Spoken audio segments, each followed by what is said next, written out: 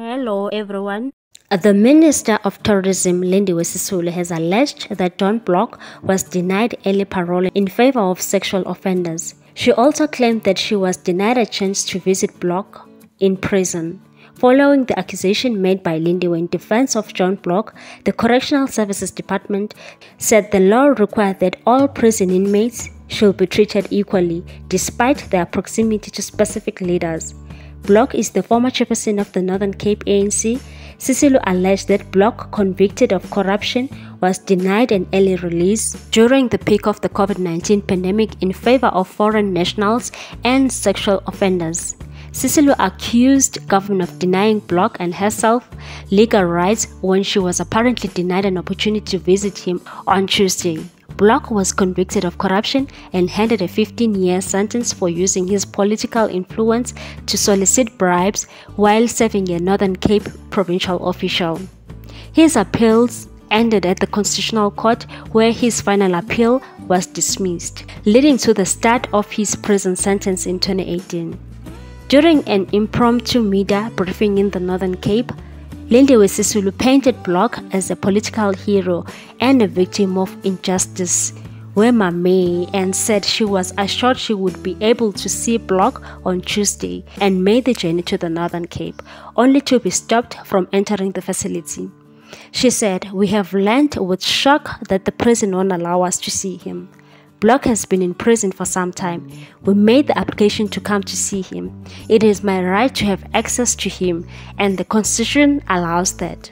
The department spokesperson Singabakho Nxumalo said no prisoner was entitled to special treatment and Sisulu, like any other ordinary citizen, had to make a booking before visiting a prison.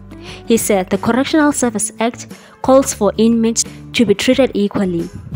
It will be unfortunate if some are treated differently due to their proximity to certain leaders and prominent people in society.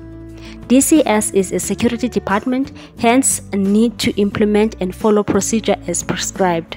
Uh, there is nothing in law prohibiting ministers from visiting inmates. However, it has to be stated that the same procedures meant for public members apply equally to the executive and people who may want to provide spiritual support. Sisulu made allegations that Block was on the list of early release prisoners at the peak of the COVID 19 pandemic, but his name was removed and said Block was denied release in favor of convicted rapists. She said nobody disclosed the reason why his name was removed from the parole list. Instead, several people, some of them sexual offenders, were allowed to go on parole. An offender was convicted of rape and he took John Block's space on parole. But Singabakho said it's also critical to highlight that under the COVID 19 parole dispensation and special remission of sentences, specific categories of inmates who committed crimes including murder, sexual assault, child abuse, high treason, sabotage, and terrorism excluded.